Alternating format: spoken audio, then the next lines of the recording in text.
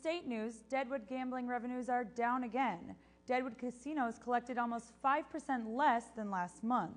The state report indicates last year's smoking ban contributed to the decline. The Deadwood Chamber of Commerce director says they're doing everything they can to attract people to the area. However, it's not enough to create an upswing for the gambling industry. Prosecutors in New York are investigating whether Long Island high school students cheated on the SATs.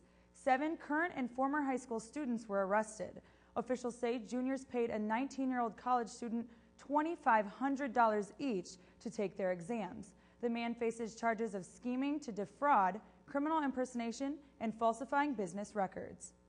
Tyson Fresh Meats is recalling about 130,000 pounds of ground beef.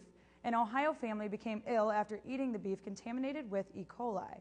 Four other Ohio children are ill after eating the beef, and a nine year old girl was hospitalized for about 10 days. The beef came from Emporia, Kansas.